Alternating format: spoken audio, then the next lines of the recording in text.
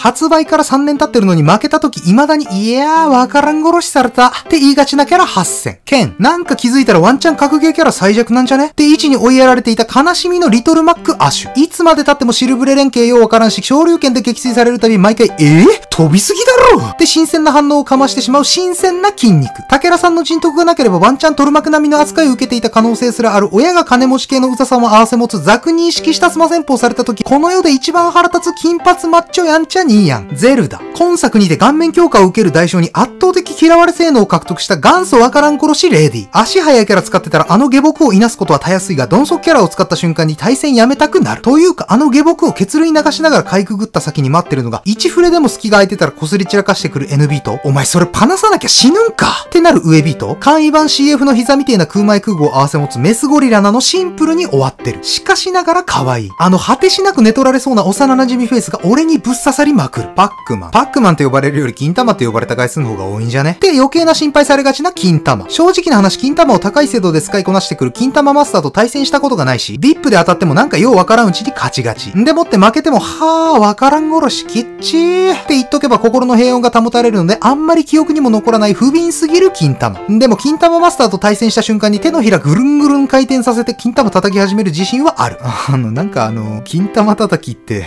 なんかあの、ねえ、わかるでしょ？スネーク。ゴチガチの将軍キッズなので大会では応援するが、いざ自分が対戦するとまだ負けてないのにずっと切れ散らかしながら対戦する羽目になる極悪おじさん。手榴弾うんぽい丸もニキータ先輩も打ち上げ花火並みに吹っ飛ぶ植木も別にいいけど、それ全部通用しなかった時に飛んでくるやけくそ DA が強すぎるのだけは許せない。シンプルに許せない。え？ー、今の俺結構うまくさばいてたけどね。言いながら負けるのシンプルに許せない。しかしながら将軍さんは最高。これだけは譲れない。フィットレ。独善的すぎる健康をまき散らす自由出勤アルセーの野郎。ボールもようわからんし、チャージショットはいつも思ってるより強いし、開幕崖外いて勝手に健康になってくるの精神的に来るし、買い上がりよくここ吸ってくるとか都市伝説っしょ。とか思ってたら本当にやってくるし、自由出勤アルセーの状態の横強思ってる7億倍くらい飛ぶしでシンプルに嫌い。しかも使ってみると結構面白くて、あれ？俺フィットレワンチャンあるんじゃね？とか思って思わず方がにやけちゃう感じも嫌い。ベオネッタ。僕の考えた最強の熟女。なんかシンプルにいやらしい。というか俺がパツパツのお尻に弱い。というかあの崖上がり横火が一生咎められない。結局あれこすり散らかされて負けてる。あれだけが生理的に受け付けない。うん、対策すればいいだけじゃん。とかもっと受け付けない。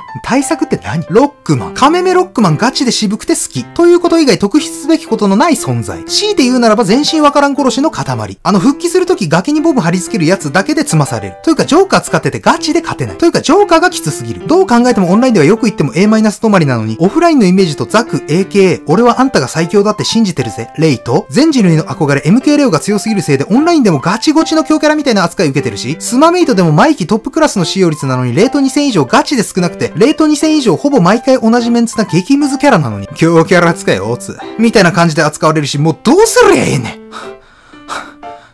まあ、ジョーカー使いではないんですけどね。ダックハント。めちゃくちゃ勝てないし、めちゃくちゃわからんけど、一生わかろうという気が起こらない犬。めちゃくちゃ犬。一生分かり合うことなどできない犬。ただの犬。